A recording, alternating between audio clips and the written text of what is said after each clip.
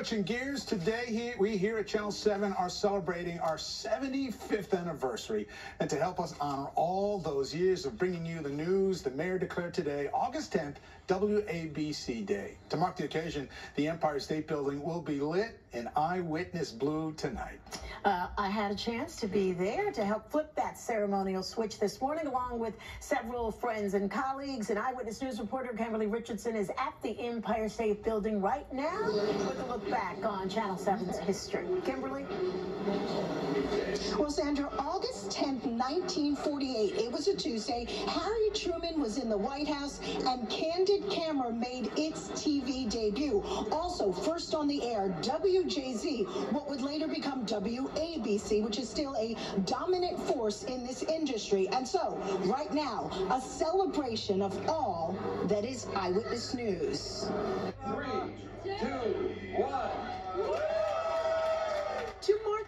75th anniversary, a ceremony at an iconic landmark, Mayor Eric Adams declaring this WABC TV Day. You heard everyday New Yorkers. You gave New Yorkers inspiration after, after September 11th, and we witnessed our center of trade collapse.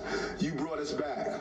Uh, during COVID, when we were afraid, we didn't know what was uh, the forecast that was ahead of us. Uh, this station was there to give us real information and allow people to familiarize themselves on how we navigate the challenging uh, times. For more than seven decades, it's been a work in progress. At the very beginning, Channel 7 was only on the air for a few hours. Along with the news, you'd see cartoons, westerns, game shows, even roller derby.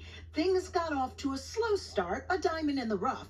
But there was no stopping this train. In 1968, a defining moment, Al Primo waved his magic wand and reshaped how the news was structured, putting in place his signature eyewitness news format. Legendary anchors, a team of ace reporters and photographers, and a small army inside the newsroom. Soon, the competition was taking note.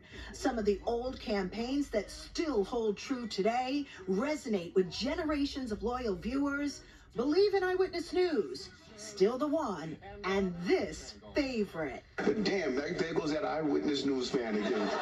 Most important then and now, WABC's commitment to keep you informed in good and bad times. We don't just report on issues. We roll up our sleeves and do everything we can to support, celebrate, and entertain New Yorkers um, what you're looking at is actually a miniature version of Empire, the real deal. It's actually roughly, roughly 14,000 feet tall. So tonight, 801 at sunset, the top will magically turn Eyewitness News blue. I've had the honor of having a front seat here at this station for more than two decades. For now, we're live in Midtown. Kimberly Richardson, Channel 7, Eyewitness News. nobody's counting. By the way, thank you for the memories. It was great looking at this. All our friends and colleagues from days past. Yeah, stopped counting exactly.